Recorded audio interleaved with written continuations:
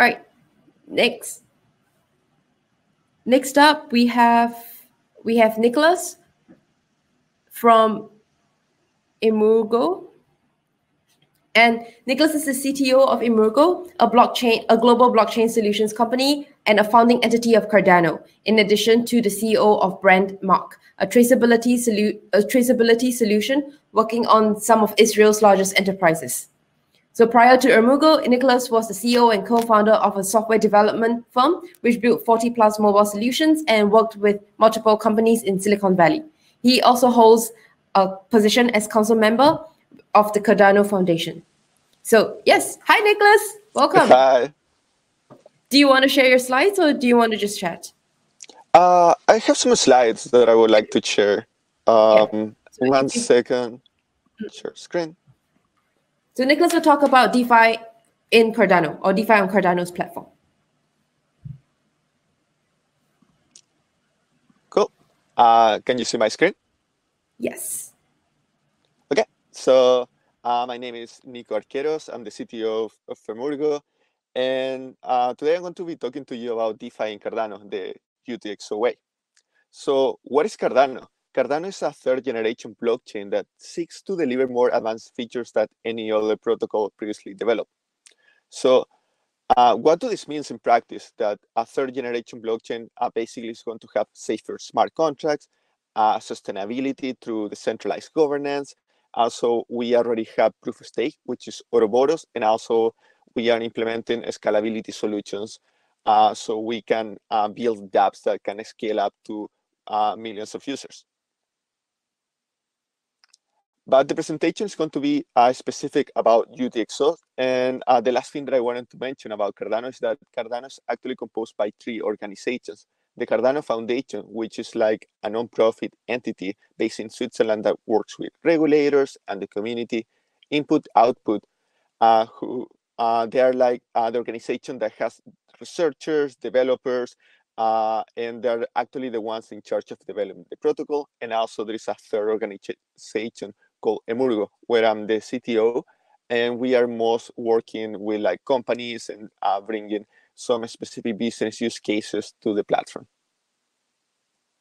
So uh, this presentation is going to be a little bit technical, but not too deep. I just want to uh, showcase uh, why Cardano is like a better, better, uh, but sometimes to be better, you need to do something really different. And I want to explain this specific difference.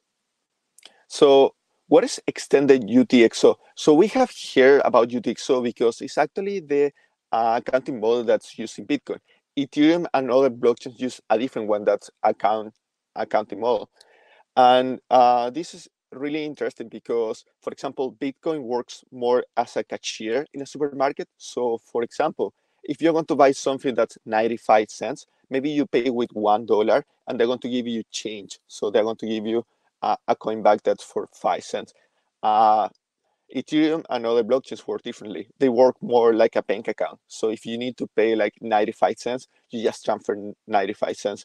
Uh, in practice, sounds uh, more simple, but uh, everything at the end is a trade-off. And extended UTXO stands that uh, in Cardano, we grab the UTXO model from Bitcoin and we extended it so it can support smart contracts. But why? Like uh, everything seems to be working fine in Ethereum, no?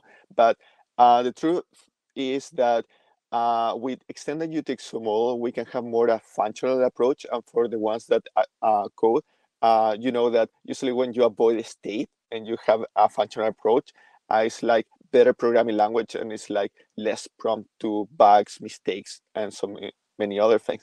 Also, UTXO-based smart contracts uh, are like better suited for scalability paradigms that uh, by avoiding global state and also for uh, sharding, uh, which seems like is the way that multiple blockchains are going to be scaling.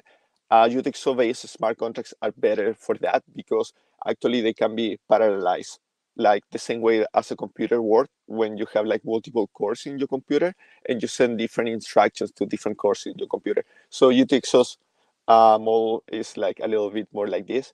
And basically everything works with like state machines, which is like uh, pretty simple and pretty clean. So uh, for developing smart contracts, uh, and uh, you uh, at the end the UTXO holds most of the information and holds like the personal state. So uh, a big difference that usually in Ethereum smart contracts, the smart contract per se is going to be holding all the state for everything. But here, a uh, big difference is that actually the UTXO holds most of the difference. And through action, this UTXO can like uh, change. Uh, you are going to create new a new UTXO or could be split in multiple UTXOs. And this allows to, as, I, as you can see in the screen, uh, some very basic models of state machines where you can be changing between different states and even go back to the previous state. But the part that's really good is that you can do this with like thousands of users at the same time. So they can be holding different states in a really clean way for the developers.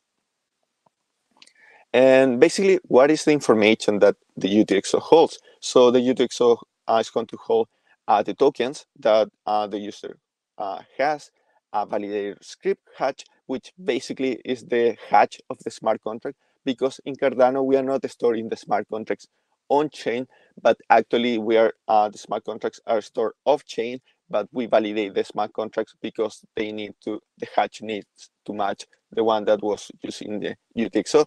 Also, for last, uh, a data script, a datum, which is like the information that's stored on chain, but we always try to minimize this uh, to the bare minimum.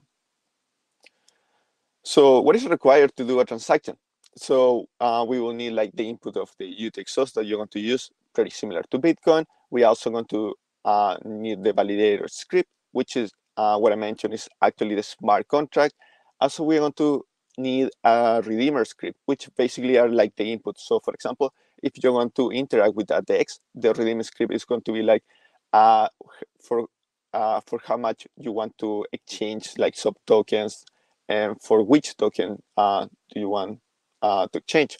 And also the slot range, which basically means that uh, if the network is congested or if uh, you want uh, something to happen in the future, you can specify a slot range so something could happen in the future. And basically, uh, this is like the model that we extend the UTXOs, but uh, like the specific programming language that we implemented for Cardano is called Plutus. And uh, basically, Smart uh, Plutus consists of like uh, pieces uh, that run on chain and pieces that run off chain. And but everything is uh, developed in Haskell. Uh, for some of you, maybe you have heard that about Haskell. It is like really cool uh, functional programming language, and uh, we were able to develop uh, uh, Plutus TX, which works on top of Haskell, and this is a part that actually works on chain. And on the very bottom, you can see a little bit of how it looks like. And the really again i would like to express that the really cool thing about this is that we work with the state machine so we have clear change of uh, machine states and also it's a functional programming language which is going to help a lot with everything related to bugs uh, uh, and verifying that the smart contracts actually do what they're supposed to uh, we know that that could be a little bit like uh, scary so also we have another solution which are for the ones that maybe they don't want to go uh, too uh, low uh, for developing a smart contract. And this solution is called Marlowe, which is a domain-specific language.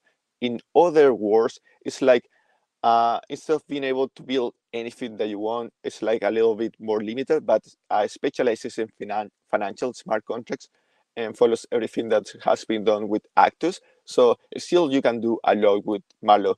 Marlowe, uh, like uh, Plutus, it looks like a little bit more like this. So you can see uh, here uh, the code. Uh, it looks like with cases, but even that sometimes is not that friendly. So you also can use uh, this little thing called Blockly. So it's like very nice because actually you can put like block to create a smart contract. And the really nice thing here is that you even have a static analysis. So this could help you automatically telling you what things could be wrong.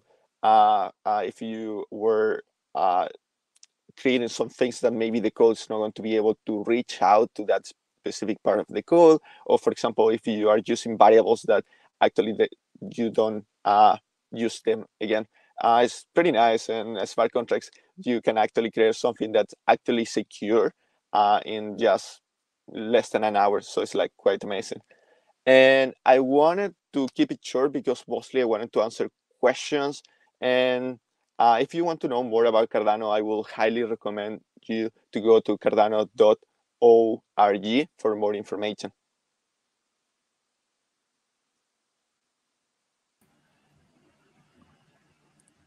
Awesome. Thank you so much. So let me ask some questions that is over here. Can Cardano work with any other oracles or any oracles? So right now we are working with different oracle providers. As I mentioned, the way that uh, Cardano works is through mm-hmm. UTXOs. So uh, in our specific case, you need to be able to expand a UTXO to confirm it. So uh, sometimes oracles will have to create like multiple UTXOs, but uh, we can work with like uh, most of like the oracles out there. Are they and, like the last thing, for example, we have different types of oracles.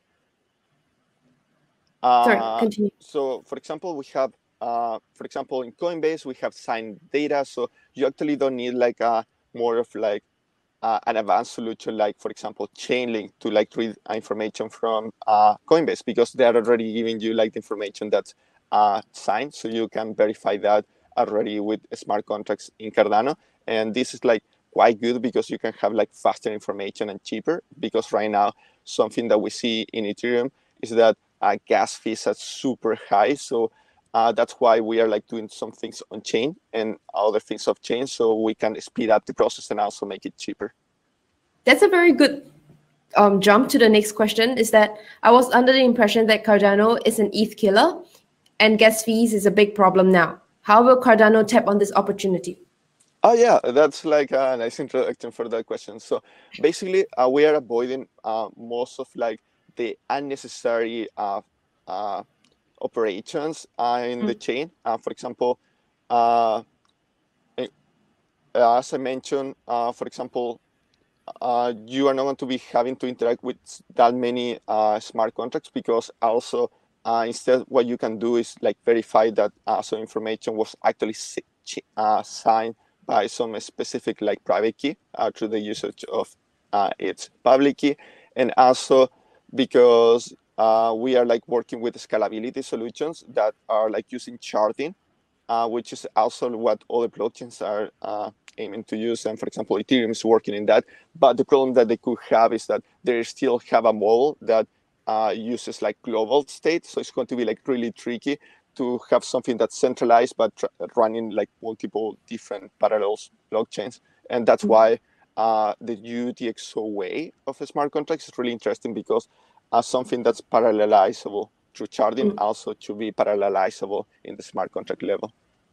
DeFi is quite distributed. DeFi has a lot of different segments. What do you think is the biggest DeFi use case where UX, UXTO, UTXO is the most value add that, that adds value to that sector in DeFi? Cool. So basically, uh, I think right now uh, there is a lot of like proof of concept, and even like uh, eight years, uh, like seven years ago, Ethereum was a proof of concept. But as we are building and testing like new uh, different ways to utilize this technology, we realize that sometimes uh, the technical part is not like good enough. So in Cardano, uh, UTXO doesn't limit the uh, the applications that you can do, but actually uh, the UTXO is like a better way to play nice with other technologies that we see are required uh, for a blockchain to scale up. Hmm. And uh, personally, I really like everything that's mostly related not so much to the current usage of DeFi, but actually more about like what I can see in like a second level, which is for like uh, banking the unbank and also uh, uh, fully bank the semi-bank. And uh, but right now that's like really tricky because, for example, if we're going to be using a stablecoin like DAI, Mm. And you want to move from dollars to DAI, you're going to be paying like 12% just to buy DAI. So it's like not actually practical for people. So there are like a lot of like different problems that we need to solve as an industry. So people can like jump uh, uh, on chain and off chain quite easily and without spending money because actually unbanked, unbanked people don't have that much extra money to like be spending in like fees. That's actually what they're trying to avoid. Agree. So, a, a question, a personal view of you: Is DeFi a bubble? So uh, I think like sadly, most of the technologies uh, sometimes they start like uh, getting like too hot and they turn to a bubble. But for example, uh, we have the bubble in the 2000s about like all the tech companies, but then we saw that oh, Amazon uh, was a bubble at that point. Yes, at that point was a bubble, but now even their uh, their their value and the price in the stock market is like even higher than at the top of that bubble. So it depends where you are. Sometimes things get like really hot quite easily, but I think in the long term we definitely are going to uh, be creating a lot of value. Mm. Awesome. Um, one last question. Oops. The will Cardano launch their version of Just Swap, or do you? And what do you think of Tron's play? Uh, so I hear the first part. The second part was uh, what I think about which uh, specific Tron. project. Oh, Tron. Tron. I, I I don't know much about Tron. Uh, to be honest, I, I know that just uh, Justin is like a huge personality, and that's super interesting. But I sadly don't know much about that. About like uh, what we are going to h- uh, to have something like similar to Uniswap. Definitely, we are going to have like uh, Swap, I think it's um, just swap. Oh Just Swap. Oh, I don't know Just Swap.